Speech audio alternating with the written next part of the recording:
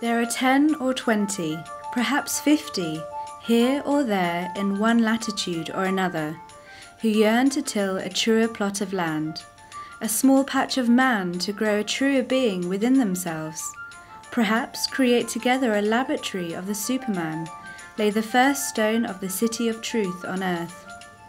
They do not know, they do not know anything except that they need something else and that there exists a law of harmony, a marvelous something of the future seeking to be incarnated.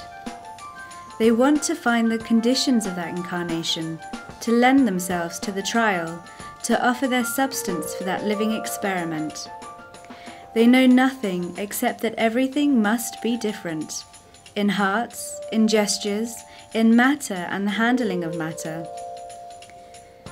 They are no longer from a country, a family, a religion, or a party. They belong to their own party, which is no one else's, and yet the party of the world. Because what becomes true at one point becomes true for the whole world and brings the whole world together.